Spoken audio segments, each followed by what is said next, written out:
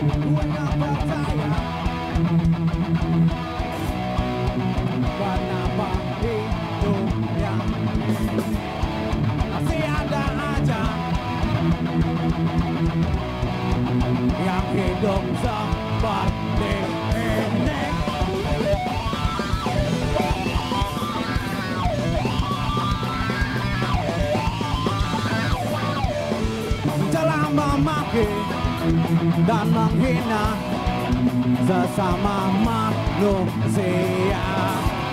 Merasa dirinya yang sempurna Bagaikan seorang bebas